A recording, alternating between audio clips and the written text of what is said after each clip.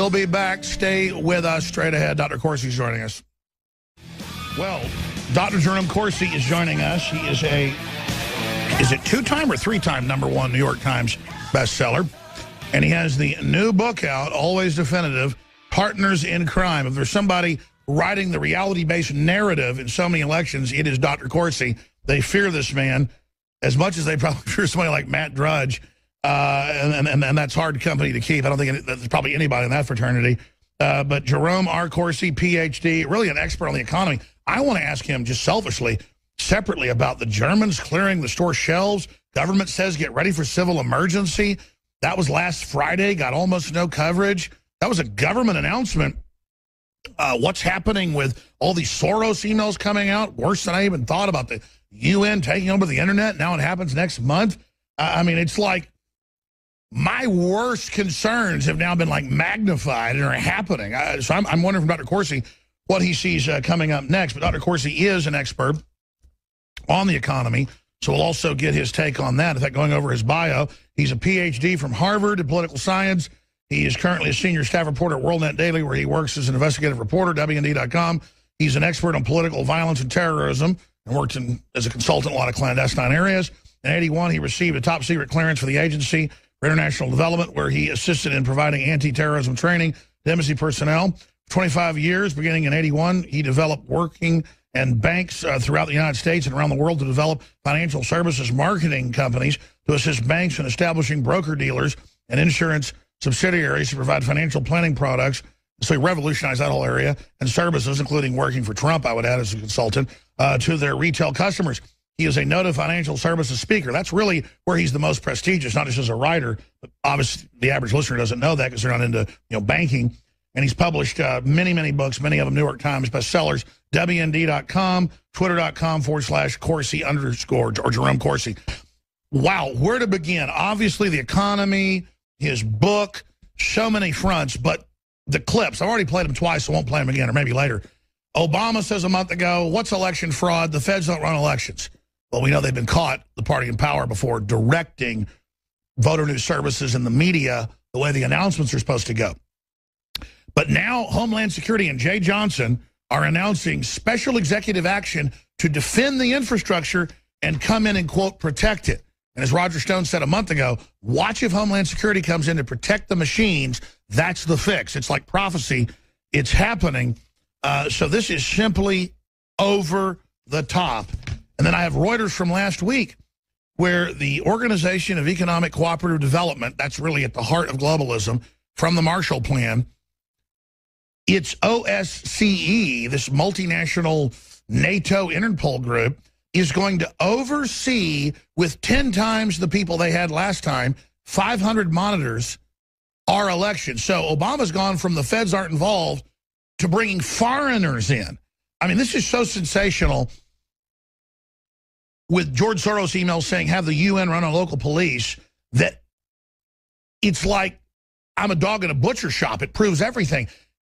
It's surreal, though. Dr. Corsi, I've thrown a big gestalt out there. Where do we begin? I mean, this is crazy.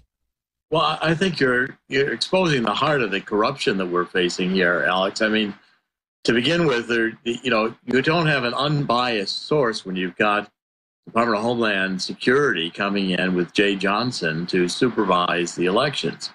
I mean, it's like saying the IRS is an unbiased source when it won't give out any 501c3s to conservative groups, or that the Department of Justice is unbiased when it won't prosecute Hillary Clinton, even though it's clear that Hillary, Hillary Clinton uh, is extremely careless with her uh, classified emails as Secretary of State. I mean, this bias of the corrupt Obama administration and the corrupt Clinton administration, I think, has got to be frightening. But Alex, you've got the globalists scared to death of Donald Trump, and they're running as fast as they can to get to the finish line to put in global government and to eliminate fundamental freedoms Americans experience under the Constitution as fast as they can.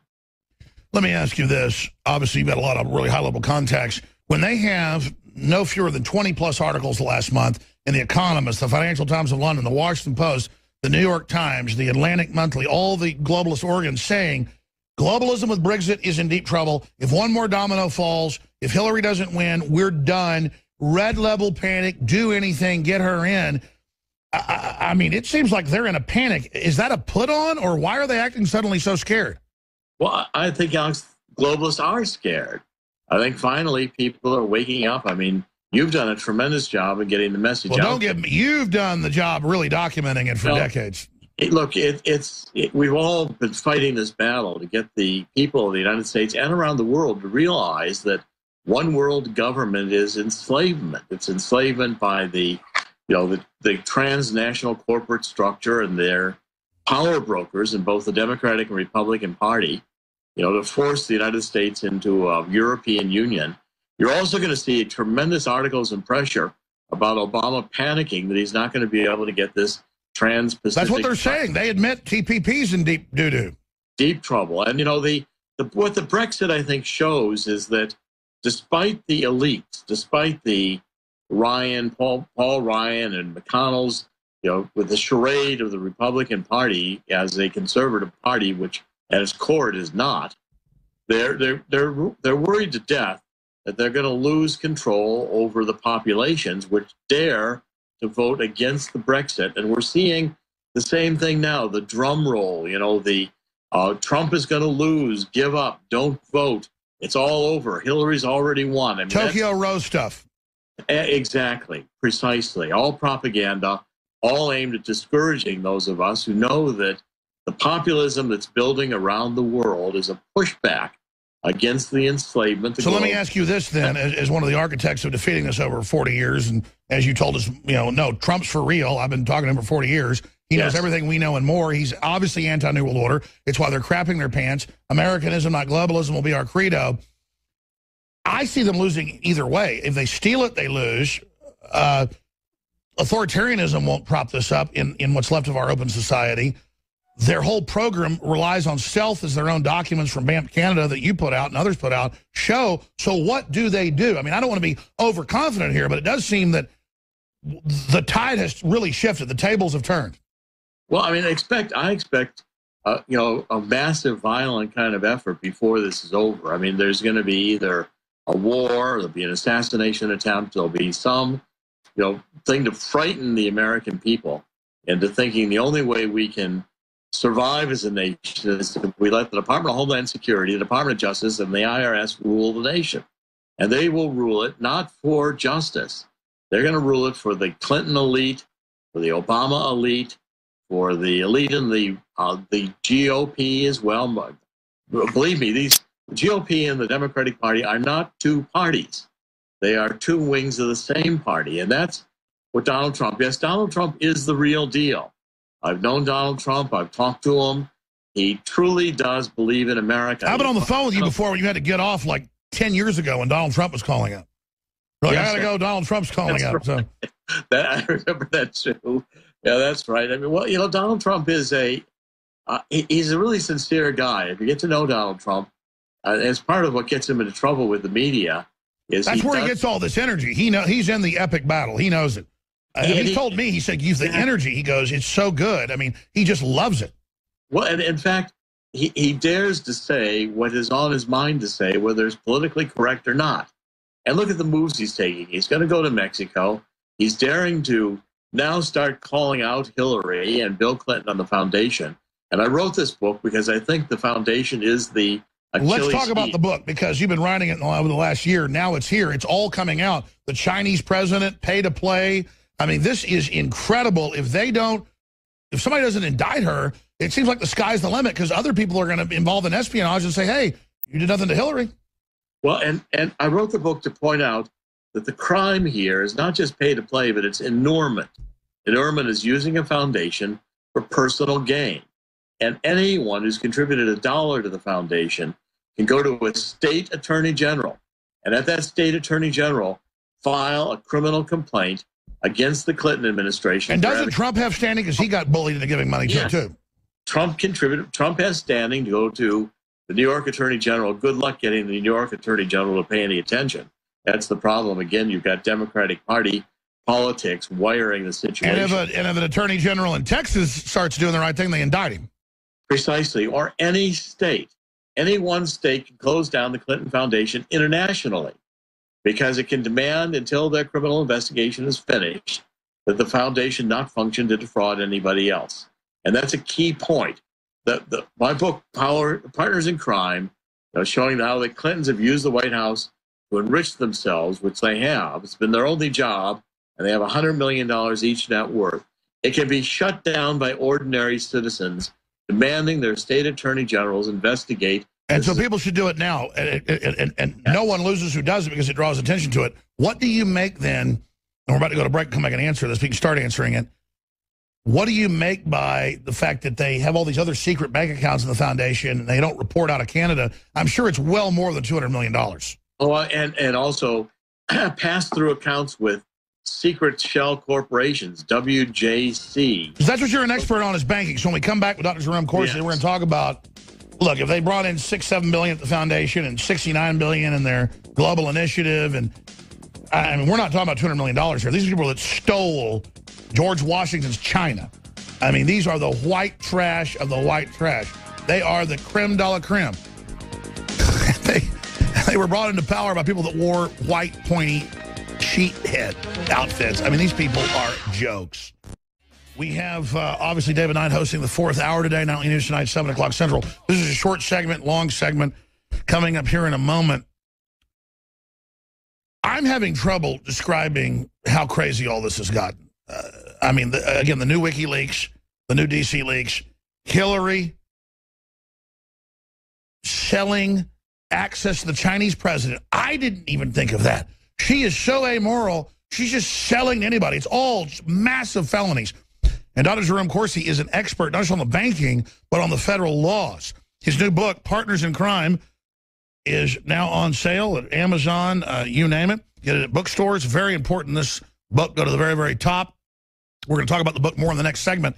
Uh, but continuing, Dr. Corsi, and folks can also follow you there on Twitter. We've got that up on screen for TV viewers you were interrupted by the break getting into the, the types of crimes they're committing, uh, all these banking laws. I mean, I've talked to lawyers. If I set up some legal foreign shell corporation and try to put a little bit of money in there to avoid taxes, they'll probably come after me even though I'm following the law. It looks like the Clintons are just engaged in whatever they want. It's, it's wild.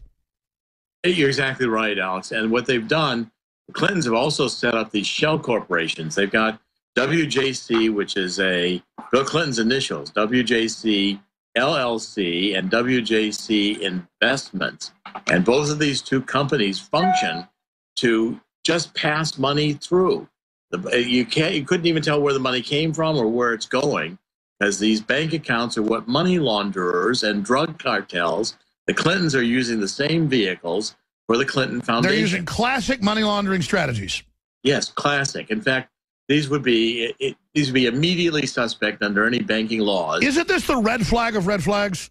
Yes, it absolutely is. You don't have a former president operating a shell corporation in the pass-through account. That's what money launderers do, what terrorists do.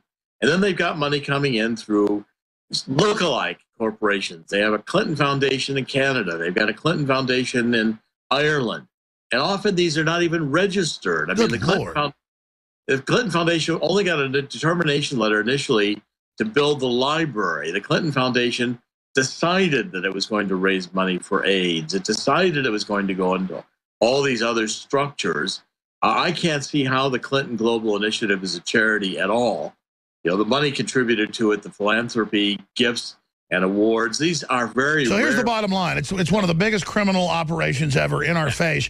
A, why do they think they can get away with it? B, will they? I mean, where does this go? Well, I think, you know, I first got onto this with Charles Ortel, who's a good friend and a uh, one of the top financial analysts in, in New York on Wall Street. And Charles said to me, you've got to look at the financial, the audited financial statements filed with the Clinton Foundation because they're absolutely fraudulent. You know, they list gross sums, the amount of money that came into the, they don't say where it came from. They don't account for the speeches. We have no idea where the speech money was paid for. If you or I did this, we would be indicted within what, six months? Oh, sooner. I mean, this is so patently obvious. Money disappears. The money that the, the United Nations in Geneva says they give to the Clintons for AIDS is different every year than the amount of money the Clintons report. I mean, the financials don't even reconcile. Why were they? Why are they so arrogant? What does it show about their brains that they would do? It is, these are the kind of financials that are criminal files. These are the financials that you use to hide money. Just like a pass-through account is a giveaway that you're trying. That's how I caught. You know, I did the initial reporting on HSB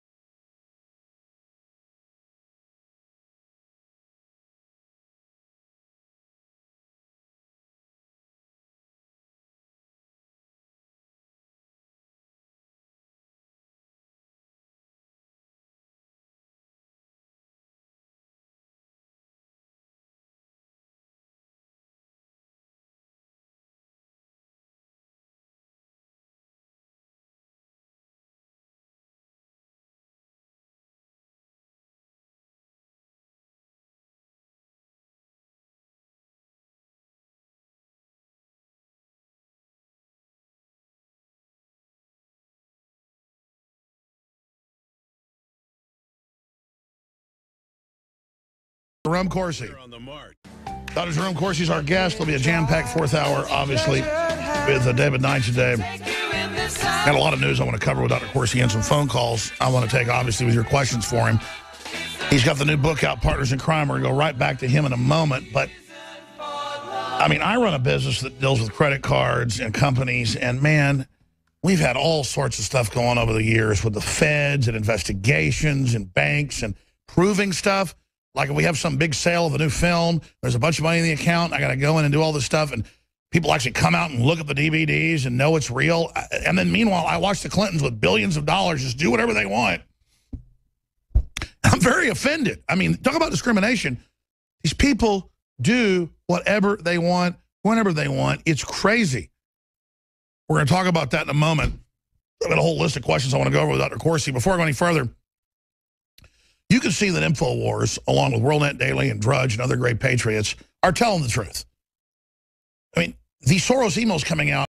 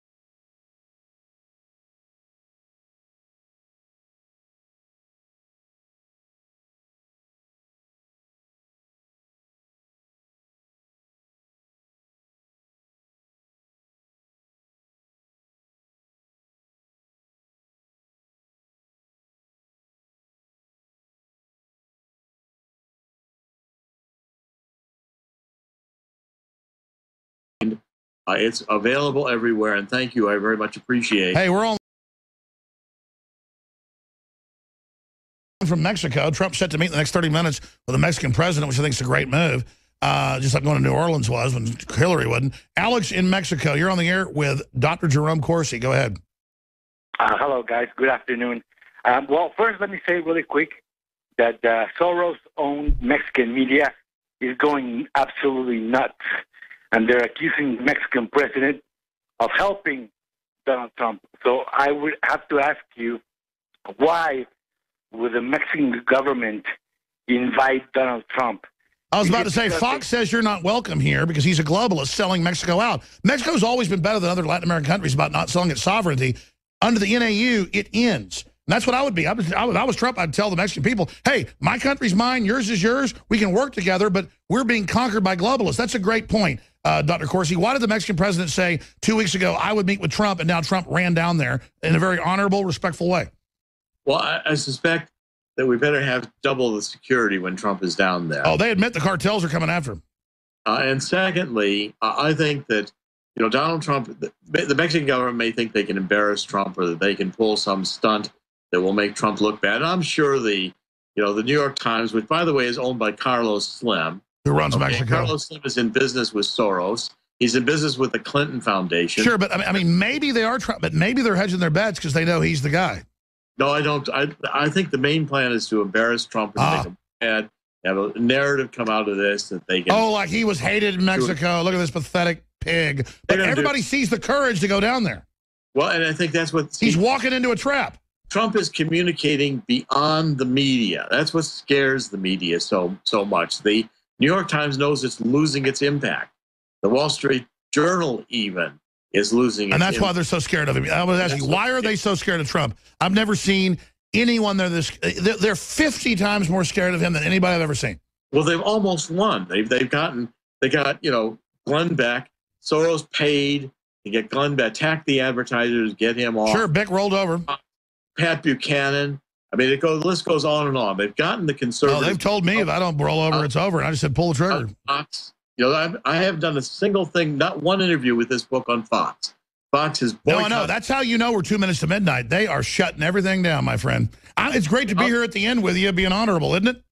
Well, you know, look, I, I think, Alex, we're going to win because I just can't believe that, you know, this great nation is going to roll over and let these globalists steal our freedoms and enslave us. Fundamentally, the American people, I think, are out there and waking up. They're looking around. They're realizing they can't, you know, they're paycheck to paycheck and don't even know they're going to keep well, look how, exactly. And look how presidential Trump is. I mean, this guy is, um, I got to say, he's amazing. Well, and Trump is seriously in going to, he has created jobs. Latinos look, African Americans look.